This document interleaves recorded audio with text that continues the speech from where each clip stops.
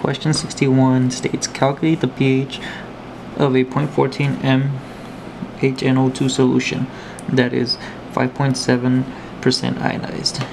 So we dissociate HNO2 which turns to H plus NO2 I guess minus whatever. We know that there is 0.14 hydronium ions and then we're gonna convert 5.7% into decimals so we divide 5.7 by 100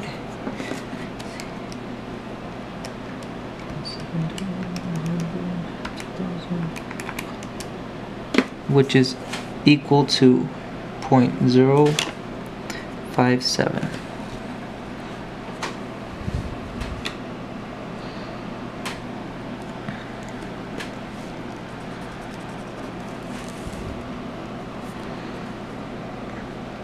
point zero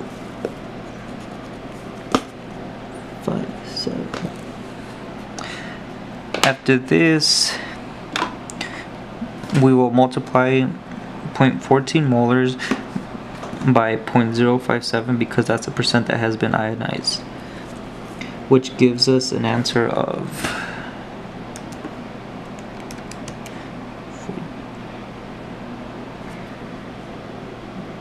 point zero zero seven nine eight.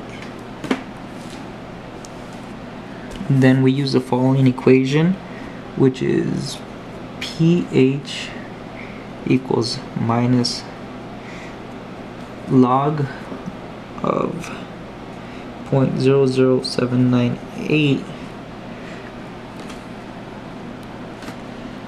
and this will give us our final answer which is negative log of 0.007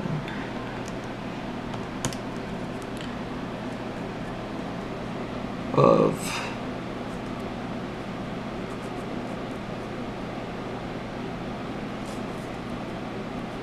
two point zero nine or pH is equal to two point ten.